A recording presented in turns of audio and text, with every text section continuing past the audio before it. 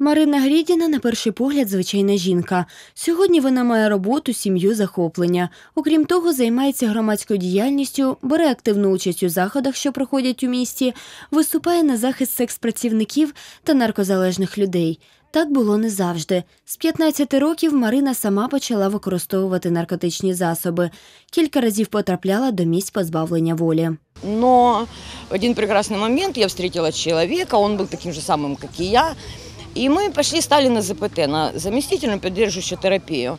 Мы находимся на, этой, на ЗПТ уже более 10 лет.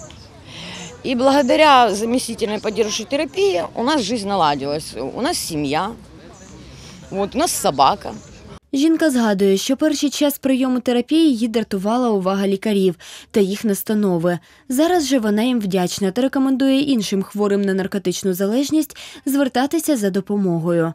На підтримку глобальної кампанії на зміну репресивної наркополітики підтримати не карати до корпусного парку прийшли члени благодійної організації Благодійний фонд Всеукраїнське об'єднання людей з наркозалежністю та волонтери громадської організації Сім доріг. Региональная акция «Охота на ведьм в украинской наркополитике». Она проходит в рамках глобального, глобальной акции «Супер Дон Паниш». Это поддерживать, не наказывать.